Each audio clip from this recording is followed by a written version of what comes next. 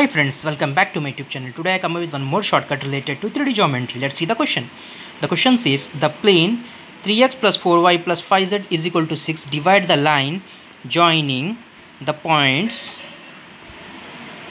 2 comma 3 comma 4 and 4 comma 5 comma 6 in the ratio dash.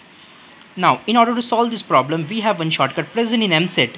The shortcut is the plane ax plus by plus cz plus d divide the line joining the point x1 y1 z1 and x2 y2 z2 in the ratio is minus ax1 plus by1 plus cz1 plus d by ax2 plus by2 plus cz2 plus d okay so upon comparing i am getting a value as 3 b value as 4 c value as 5 d value as minus 6 and x1 value as 2 x x2 value as 4 y1 value as 3 y2 value as 5 z1 value as 4 z2 value as 6 once I have, once I am obtaining all this value my next task is to substitute those value in this equation.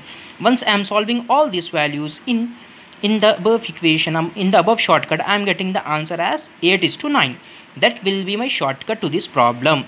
Hope you understand this video. If you understand this video and if you want me to make some more video of this kind then don't forget to like subscribe and share my youtube channel with your family friend and colleague. I will come up with some more shortcut of this kind. Thank you